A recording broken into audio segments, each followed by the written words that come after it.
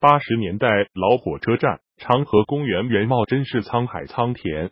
那时候弹棉花，几乎每个家庭都会有。德州市儿童乐团开幕，交警背后的公厕处就是目前人民医院的大门口。这个交警真帅。粮油供应证，六七十年代农田水利建设现场，现在所有人工河，大部分都是那个年代扒地方铁锨叫车子，一铁锨一铁锨扒出来的。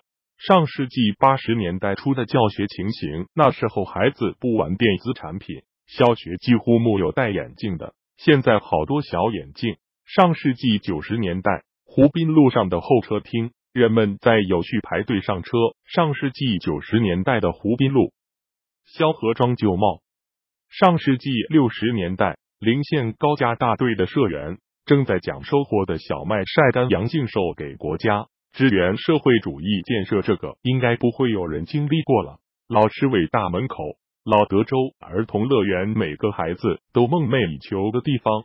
德州学院旧校门，德州旧貌全景，你能找到自己的家吗？八十年代的新湖东南角，八十年代的二中学生宿舍，八十年代的百货大楼，百货大楼，当时每个城市都有。八十年代的十三局路口，看那时候的车。那时候的人，那时候的路。八五年的德州火车站广场，八十年代三十八路依然热闹非凡。